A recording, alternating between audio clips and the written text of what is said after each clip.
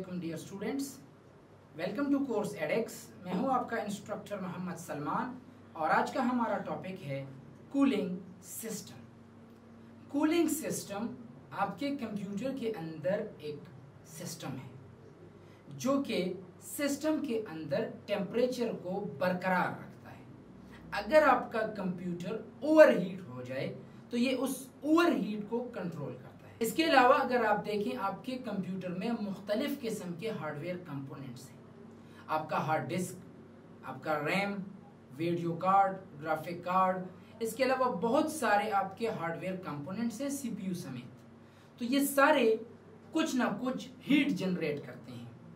तो वो हीट अगर एक लेवल से ज़्यादा बढ़ जाए तो इसकी वजह से आपके कंप्यूटर में डैमेज होने का खतरा होता है, किसी हार्डवेयर के खराब होने का खतरा है। कोई भी हार्डवेयर जल सकता है, खराब हो सकता है, आपके कंप्यूटर में कुछ मसले आ सकते हैं। यानी हम ये कह सकते हैं कि आपका सिस्टम किसी इस हीट की वजह से फेल हो गया। तो इस हीट को, इस टेम्परेचर को बरकरार रखने के लिए हम इस्तेमाल करते हैं cooling system. Cooling system actually एक फ़ैन है। जो कि आपके प्रोसेसर के ऊपर लगा होता है, ताकि आपका मेन जो प्रोसेसिंग यूनिट है, वो खराब ना हो जाए ओवर हीट ना हो जाए। हीट सिंक्स इस्तेमाल होते हैं, ताकि आपके सिस्टम के टेम्परेचर को बरकरार रखा जा सके। अच्छा आजकल मॉडर्न जो कंप्यूटर है, उसमें तो एक ये भी टेक्नोलॉजी आ रही है कि अगर आपका सिस्टम एक लिमिट से उसका हीट बढ़ जाए तो वो ऑटोमेटिकली टर्न ऑफ़ हो जाते हैं। पुराने ज़माने में जो हमारे पास कंप्यूटर्स थी तो उसमें मसला ये था कि वो गर्म होने के बाद ऑफ़ नहीं हुआ करते थे। तो अगर वो टेम्परेचर अपने लेवल से ज़्यादा बढ़ जाए तो आपका सिस्टम जो है वो फेल हो जाता था, ख़राब हो जाता था, उसमें कुछ मसले आ जाते थे। लेकिन आजकल जितने मॉडर्न कंप्यूटर्स हैं तो अगर उसका हीट एक लेवल से ज़्यादा बढ़ जाए, आपका टेम्परेचर अपने उस लेवल से ज़्यादा बढ़ जाए तो आपका कंप्यूटर ऑटोमेटिकली टर्न ऑफ़ हो जाता है। ये आप कुछ कूलिंग सिस्टम देख सकते हैं। आपके प्रोसेसर के ऊपर एक फ़ैन लगा होता है।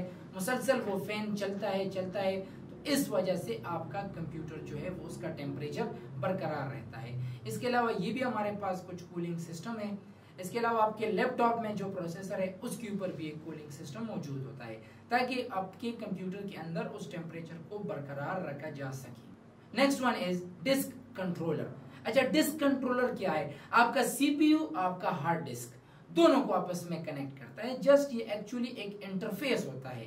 This is interface between disk drive and your internal bus अच्छा नेक्स्ट हमारे पास है एक्सपेंशन कार्ड प्रीवियस लेक्चर में हमने एक्सपेंशन स्लॉट्स के बारे में पढ़ा था कि वो एक मदरबोर्ड में एक सॉकेट होता है कि जिसमें हम एक्सपेंशन कार्ड लगाते हैं। अब हम एक्सपेंशन कार्ड के बारे में पढ़ रहे हैं कि एक्सपेंशन कार्ड क्या चीज़ है।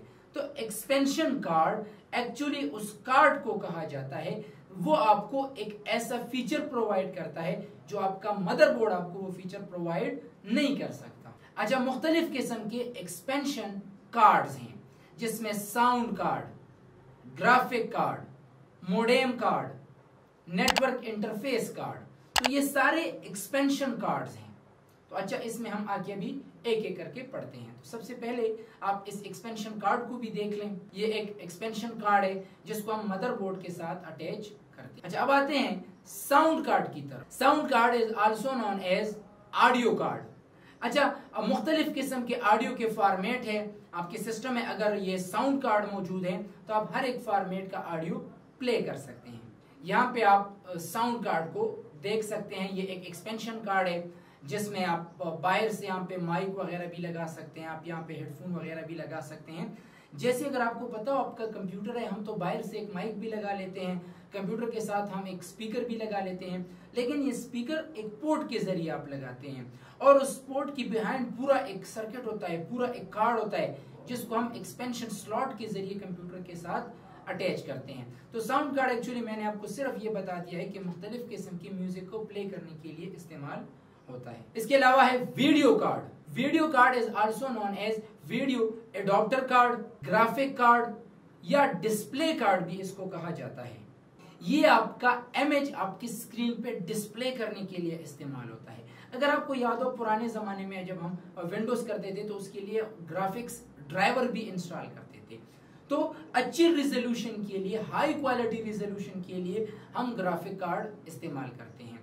या अगर कुछ लोग गेमिंग के शौकीन हैं तो वो भी अपने कंप्यूटर में थ्री कार्ड और ग्राफिक कार्ड लगाते हैं ताकि आपको हाई रिजोल्यूशन डिस्प्ले मिल सके। यहाँ पे आप ग्राफिक कार्ड की पिक्चर्स को भी देख सकते हैं। ये हमारे पास एक graphic card three card video card video adapter card कोई भी नाम आप इसको कह सकते हैं।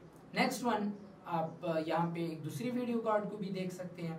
अच्छा इसके अलावा मोडेम कार्ड अच्छा मोडेम निकला है मॉडुलेटर एंड डी मॉडुलेटर से मॉडुलेटर का काम है मॉडुलेशन डी मॉडुलेटर का काम है डी मॉडुलेशन एनालॉग सिग्नल को डिजिटल सिग्नल में कन्वर्ट करता है, जबकि डी मॉडुलेशन डिजिटल सिग्नल को एनालॉग सिग्नल में कन्वर्ट करता है। तो ये सिर्फ़ मॉड्यूलेशन और डीमॉड्यूलेशन इसके लिए अगर आप अपने कंप्यूटर में मोडेम वगैरह लगाना चाहते हैं तो मोडेम कार्ड आप ज़रूर इस्तेमाल करेंगे। मोडेम कार्ड भी एक एक्सपेंशन कार्ड है, जो किसी एक्सपेंशन स्लॉट के ज़रिए आप कंप्यूटर के साथ अटैच कर सकते हैं, या मोडेम कार्ड को भी देख सकते हैं। इसके अलावा है नेटवर्क इंटरफेस कार्ड याद रखें, जब भी हम एक नेटवर्क बनाते हैं नेटवर्क से यह मुराद है कि जब आप दो या दो से ज़्यादा कंप्यूटर आपस में एक दूसरे के साथ कनेक्ट करना चाहते हैं तो आपके कंप्यूटर में एनआईसी कार्ड का होना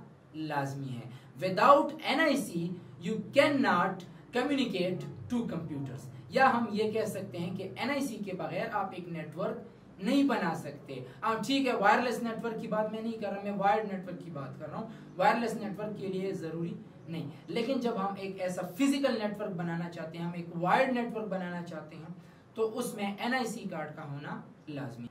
एनआईसी कार्ड को लैन एडाप्टर भी कहते हैं। इसको नेटवर्क एडाप्टर भी कहा जाता है। इसको नेटवर्क इंटरफेस कार्ड भी कहते हैं। लेकिन आजकल जितने मॉडर्न कंप्यूटर्स हैं, उनमें पहले से एनआईसी मौजूद होता है। यहाँ पे आप नेटवर्क इंटरफेस कार्ड को भी देख सकते हैं। So that's enough for today. Inshallah, see you in next lecture. Thank you very much. Allah Hafiz.